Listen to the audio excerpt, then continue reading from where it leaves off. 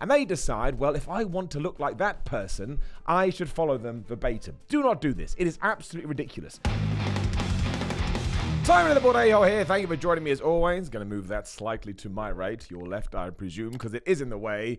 And I do appreciate you joining me for another video where today we are going to get rid of some muscle building mistakes. And if you're a long time viewer of this channel, maybe we've touched on some of these things before. But very kindly, over the weekend, I was in Cardiff for Clash at the Castle, the WWE show. People said they like these videos, even if it does remind them of things they'd forgotten. It keeps them on the straight and narrow when it comes to the Fitness Palace of Love, aka the gym. Because remember, if you're in the BLC, the big little club, doesn't matter if you're big, doesn't matter if you're little, you are in the fitness club and you're allowed to go to the gym and you're allowed to absolutely smash it. So stop being an idiot. and here's 10 stupid things you need to stop doing. Number 10 is walk in before you can run. Now, you will see this a lot in many gyms when you do go there. If you're somewhat of a moderate lifter or you're no longer a novice, a brand new person, a rookie, will walk through the door and they will see the henchest of dudes or henchest of women just smashing the gym, absolutely killing it, being like, oh my gosh, look at my peaks and freaks. And they decide, well, if I want to look like that person, I should follow them verbatim. Do not do this. It is absolutely ridiculous. If you're a surgeon, you don't walk into medical class day one and go, oh, I'm going to do open heart surgery. That is not going to go well because you haven't been able to use your information that you're going to learn and then copy and paste that onto what you need to do. And it's the same with the gym. You've got to walk before you run. You've got to crawl and then you walk and then you can sprint and then you can do do marathons, whatever the hell you want to do. But keep it basic when you first go to the gym. And there's two reasons to do this. One, your body's not prepared for it if you don't, and you're going to injure yourself. But two, you're not leaving yourself with anywhere to go. I did this. This is how I know. All of these are from my own experiences.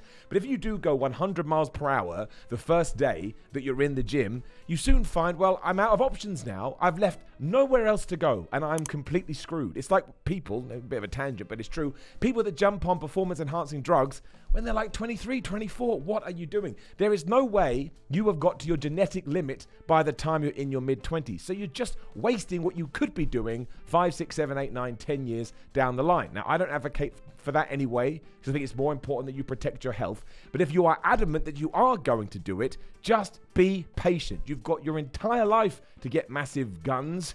You don't need to get it all before you, I don't know, 12. And number nine is a simple one. You're focusing on some areas and not others. And I get this, of course I do.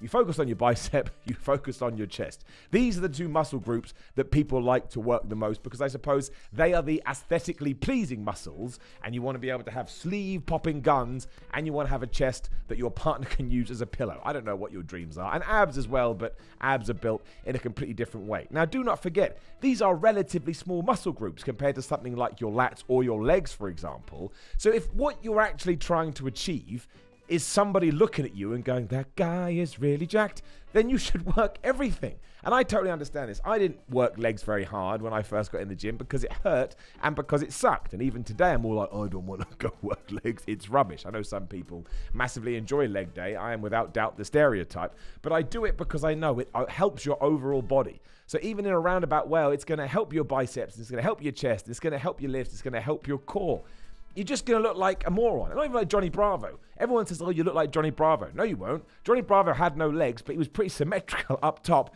You're just going to be weird, some weird chest bicep machine, and I don't even know what that is. So I understand that doing a bench press is more enjoyable than doing a squat, but just figure out ways to make it entertaining for you. Even if it's just doing progressive overload and thinking, well, I did a 50 kilogram squat today. Next week, I'm going to do a 52.5 kilogram squat, 55. You can turn it into a competition with yourself. But I promise you, if you want to come across like a muscular guy or girl, whatever, and you want to have that look, you've got to be working anything. And by not doing that, you're actually doing yourself more harm than good. Which brings us to a classic number eight cardio before lifting. Now, you can do this. I would rather that you did cardiovascular exercise, work that heart, most important muscle in the body. But it stands to reason you only have so much energy, right? Just think of it nice and simple. You only have so much energy. And if you use some of that energy to smash 30 minutes of cardio, by the time you get to lifting weights, you're not going to have as much energy because you got rid of some of it running into the distance. Now, the way that I've always done this, and I get that it's hard, you do have to make sacrifices and you do have to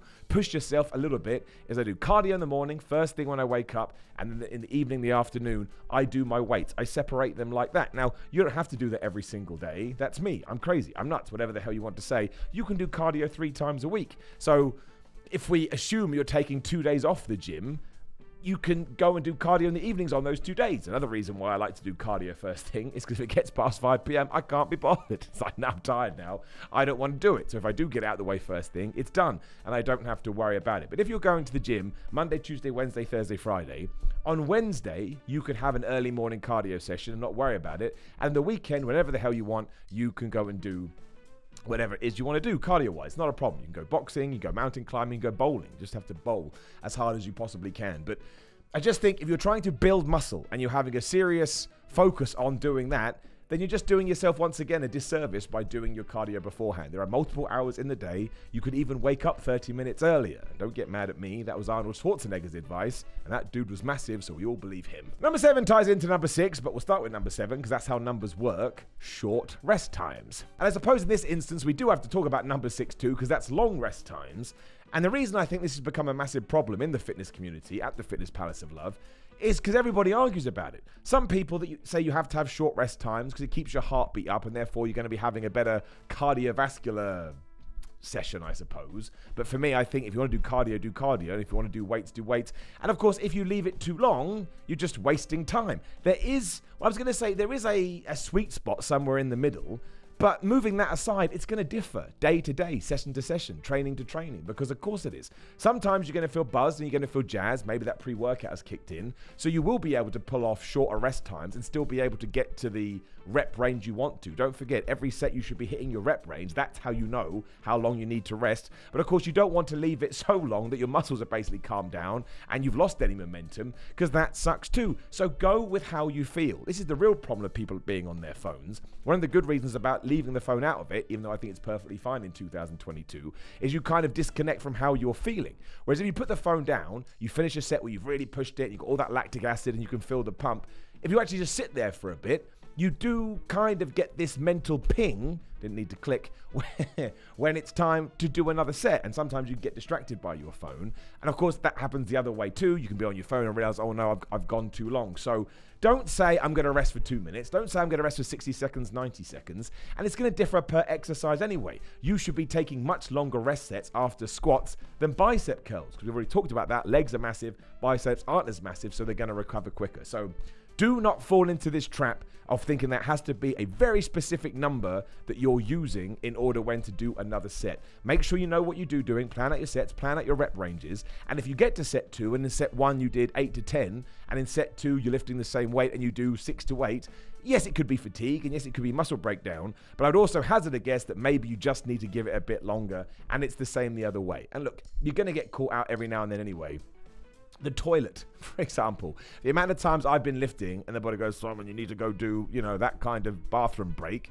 And you just have to go and do it. So take everything in your stride, but do not try to come up with anything exact or accurate because nonsense. Which brings us to number five, which I suppose ties in, and that's relying on soreness. Because we all want DOMS, delayed onset muscle soreness. It feels good, and it's a good way to tell you, oh wow, I did something in the muscle because it's hurting right now, but it actually means nothing. You can achieve DOMS in every single one of your sessions, and it could mean that you're growing, and it could mean that you're progressive and evolving, but it also could mean you just hurt the muscle a little bit, because of course, when we do lift, we're breaking the muscle apart. But it is not a 100% signifier that you have achieved what you've gone to the gym to do, which is muscle synthesis, blah, blah, boring, boring. We know what we're talking about. Hypertrophy, hypertrophy, roughy, whatever the hell it may be. Let's call it a hypertrophy because everybody wants to win some kind of award. So aim for it if you like it. Be proud of it if you wake up the next day, but make sure you're relying on other factors too. Look at the scales. Measure your muscles. That's a good one to do it. Look in the mirror. Not a singular one of these is going to be enough to tell you that you are heading in the right direction.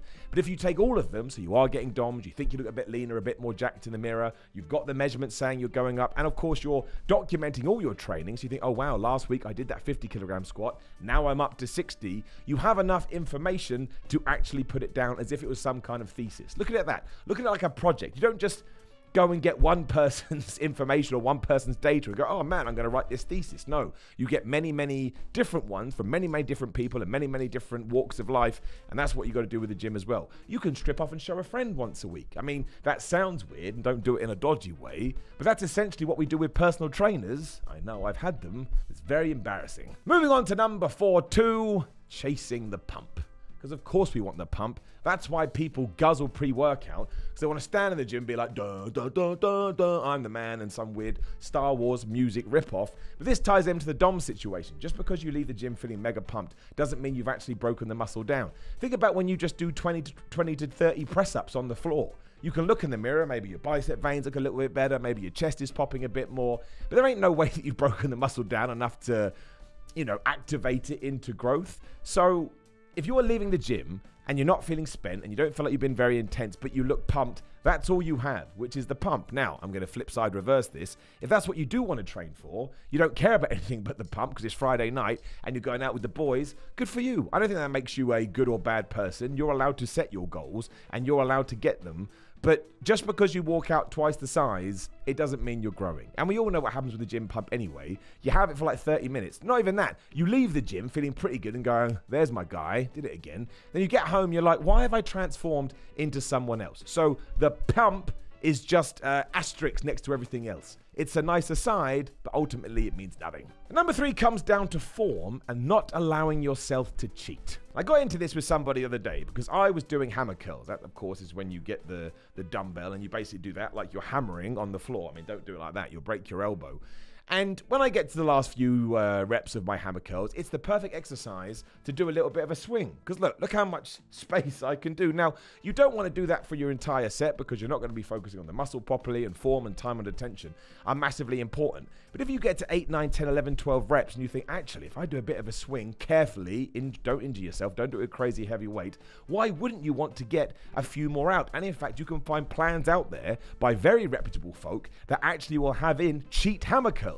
So they're happy for you to do it the entire time. Because if you get to this position and you squeeze, you're going to smash your forearms and you're going to smash your biceps. Case in point is, though, someone came up and said, oh, no, you shouldn't be doing that because form and etc. And they did have a point, but you can't be don't fall into this trap. And I, I say it all the time: form, form, form. It's like some it's like some strange receptionist, like fill in the form. I don't mean like that, but range of motion, all of that. I talk about it all the time. But you have to ensure that you can be lenient with this stuff on the right occasions. That being one of them. I mean you could potentially do it with something like squats. Like if you go down and think, oh, I'm not going to be able to go all the way down to parallel, and you just smash the mini ones out after you've done the proper ones, this would also be fine. But again, that's a more dangerous exercise. But when you are more isolating with stuff like your arms or your shoulders or your chest or your back, if you think there's a way to kind of use your momentum and use your body to get past how many reps you were going to do anyway to the point you're cheating on your form, that is perfectly cool. And I do understand the first time you go into the gym, you think you have to be like a robot. Oh no, eight to 10 reps, da, da, da, da.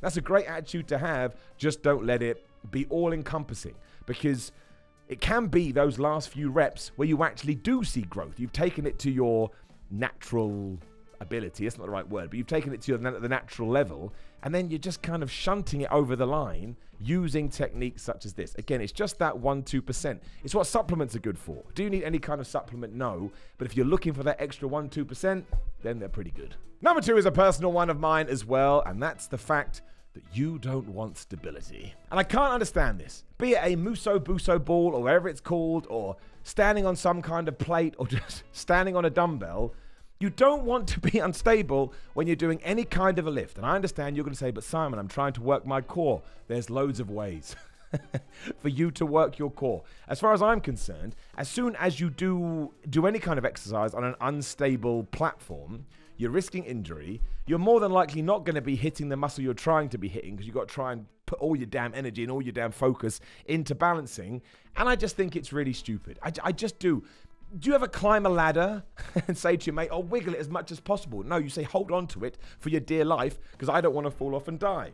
It's the same with squats, or it's the same with anything like that. Like, you see people doing it with squats, but you never see people doing it with deadlifts, although I bet it is out there. The point is this unless you want to be in one of my idiotic gym fail reaction videos, exclusive to Patreon now because YouTube screwed me over, link in description, that's a cheap plug.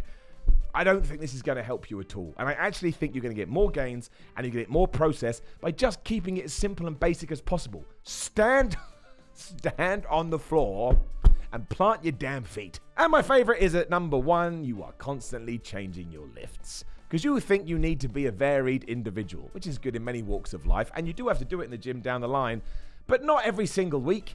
If you are doing a bench press, do a bench press for a long as time. Get better at the bench press because that's something you can follow. You did 10 kilograms, now you're doing 20, 30, 40, 50, 60, 70, 80, 90, 100. If you're doing bench press, and then you're doing dumbbell press, and then you're doing an incline press, whatever it may be, like you can incorporate all of these into your chest session, of course. But I'm talking about the people that say, right, chest today I'm doing bench. Next week I'm doing that. Next week I'm doing that. You're never going to get any kind of a flow, and you're never going to get any kind of, ironically, stability with it because you do not know if you're improving at that lift. Do not forget, if you are improving with a lift, if you are getting stronger, of course, it could mean fat because that is going to help you lift more, but it also is probably going to mean some muscle as well. So stick to things. Give things at least 8 to 12 weeks. And if you get to the end of that three month period and you really think to yourself, you know what, I'm not seeing the growth or the reaction I wanted to, then you can start incorporating different things. Now, I'm not saying that you just do bench press all the time, but you see so many people do it for a week and go, no, it's not working for me. I don't look like Rambo.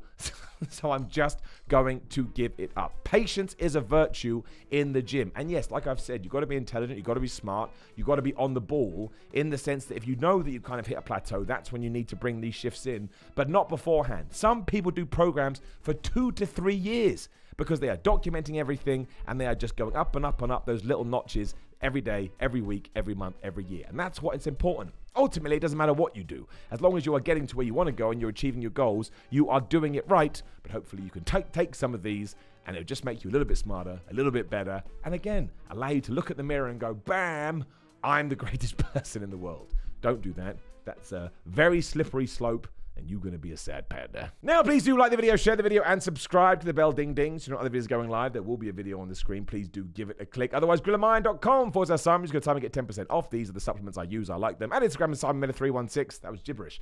Instagram and Twitter at Simon 316 Patreon.com forward slash Simon 316 for videos. There's Cameo, there's merchandise. Check out the link in the description below for all the information. But more importantly, thank you for joining me today. Go and kick ass in the gym, whether you've been doing it for a week whether you're doing it for 10 years. It never gets old. It's the greatest thing in the world.